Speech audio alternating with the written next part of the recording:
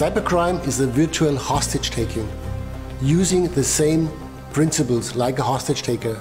High demands, no cooperation.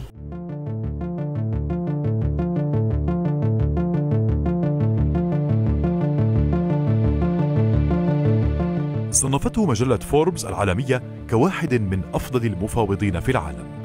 تدرب وعمل في الشرطة مع مكتب التحقيقات الفيدرالي الأمريكي FBI لسبعة عشر عاماً.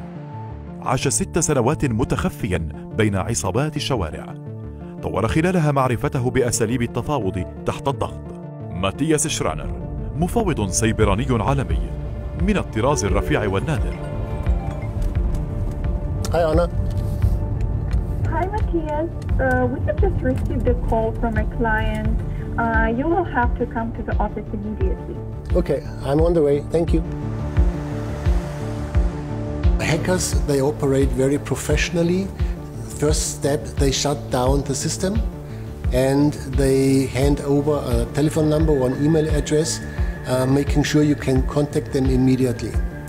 And most clients, they underestimate this danger, so they try to avoid this negotiation, which is always wrong. You need to contact them immediately because time is not on your side. You need to start this negotiation immediately. So you reach out to this number or to this email. Uh, usually get a password, making sure you are the right one calling uh, this organization, and then they tell you what they want. We got a new case, and we need to analyze this case immediately. It would be great if you could focus on the company and on the contact person, and we need to know what's going on in social media. أسس شركته التي تختص في التفاوض مع أخطر المتسللين السيبرانيين في أهم القضايا السرية والمعلنة. في جعبته أكثر من 500 قضية تفاوض سيبراني حول العالم. لنكتشف مع ماتياس شرانر عالم التفاوض بين المتسللين والشركات المستهدفة. So after receiving this demand, it's important to not to commit yourself at the beginning because there's always a lack of information. So you should never say no, you should never say yes, and very important, you should not try to convince them that it's illegal and they shouldn't do it. So you need to negotiate with these cyber criminals, and the first thing what you do, you ask for a so-called proof of life. You hand over a homework for them um, to restore the most complicated element of your IT system.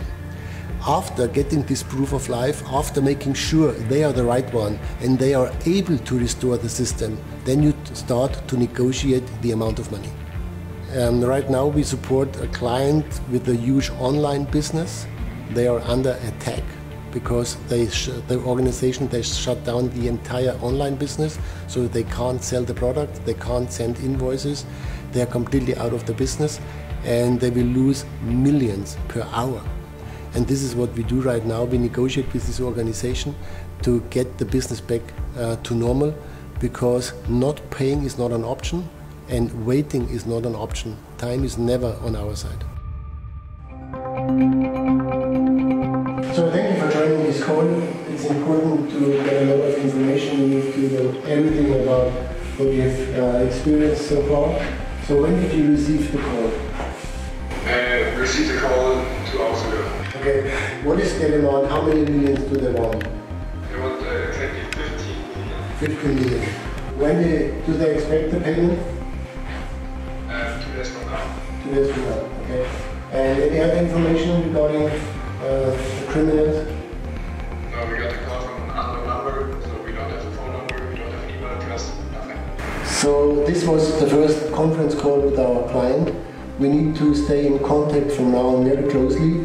So we do have a meeting every hour because we need to get all the necessary information. Because this is what we need to know to prepare our negotiation strategy.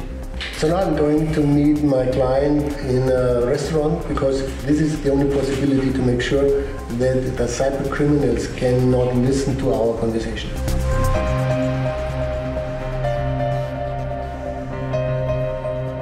Usually you pay the money in cryptocurrency, so you need to get the money prior to the deal. And this is not easy because you can't transfer millions of dollars into cryptocurrency at once, so you need to be prepared.